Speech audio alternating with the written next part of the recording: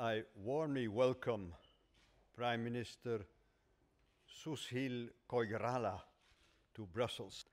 I would like to start by paying my respect to those who were affected by the recent floods and landslides in Nepal. The European Union reacted promptly and provided emergency assistance to those most affected. And we will continue to show solidarity and consider further relief support as necessary. The European Union is supporting Nepal on a long term.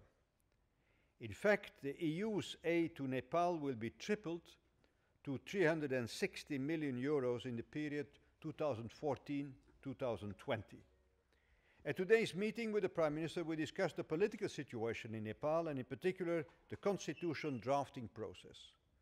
The European Union welcomes the ongoing efforts by the political parties to deliver a democratic and inclusive constitution by the planned timeframe of early 2015.